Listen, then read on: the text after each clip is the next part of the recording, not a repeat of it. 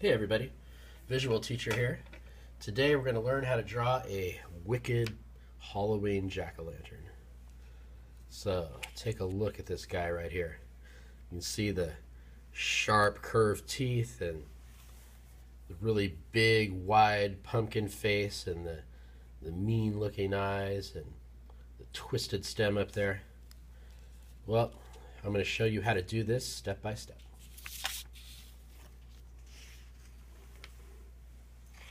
So the first thing we're going to do is take our paper, turn it horizontal like this. Next we're going to think about how much space it's going to take up on the page and where some of our lines are going to begin and end. So I'm going to put a mark here, here, here, and then up here and we really do want it to kind of fill the fill the whole page. After that, I'm going to go ahead and make a nice curved line for this side of the pumpkin. Then I'm going to go to the other side of the paper and do the exact same thing, but in the opposite direction.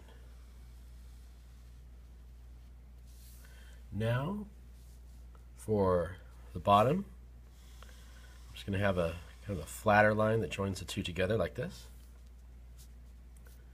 After that, I'm going to go back up to the top.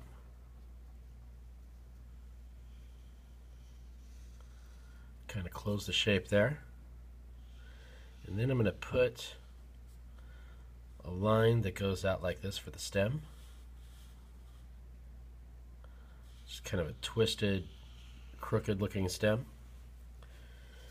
Now that I've done that, I'm going to go ahead and put two curved lines here for either corner of the mouth. And then come the sharp curved teeth. I'm going to start with some sharp curved teeth that point this way. And then I'm going to put more pointing the other way. Next I'm going to go to the bottom row of teeth and do the same thing. Three teeth going slightly this way, and then three more kind of bending the other way, and then we finish the mouth. Next come the eyes. To give those eyes a really mean look, we're going to make them kind of pointy and narrow and pointing down. So put one eye on this side, one eye on the other side. Now you can make this pumpkin without a nose and it looks just as good. But I'm just going to go ahead and add one narrow upside down triangle nose right there. So the next thing we want to do is see if we can make our pumpkin look more 3D by going inside the parts that have been cut and making the, the pumpkin look a little thicker through the shell. So I'm going to put a curved line here and here. After that, I'm going to do the same thing in the corner of each mouth. For my next step, I'm going to go down to each tooth.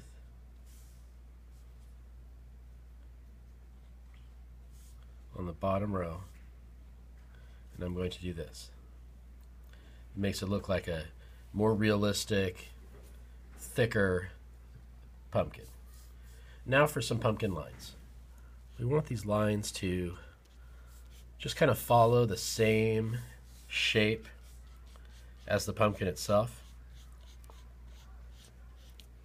It's a nice detail to add.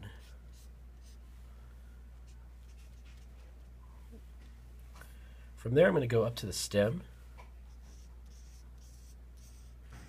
and I'm going to put some lines across here. Just to give it some texture. Almost kind of makes it look like hair. And now to make the pumpkin really stand out, I'm going to take a I'm going to take my marker and put a really solid black line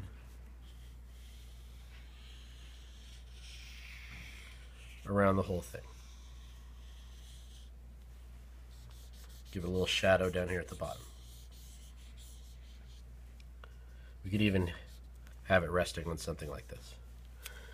Okay, so that is the basic step-by-step lesson on how to draw a wicked Halloween jack-o'-lantern. Let's take another look at the finished one. See, all I really did to color it was I took an orange marker to color in most of the outside. The stem, besides the black marker lines, is a combination of green and brown. Then I used yellow marker on all these inside edges here. Just to kind of give it a, a different look and make it look almost kind of like it was glowing within, I used light orange crayons to color the inside of the eyes and the mouth. And that's our jack-o'-lantern. So go ahead and give it a try. Enjoy.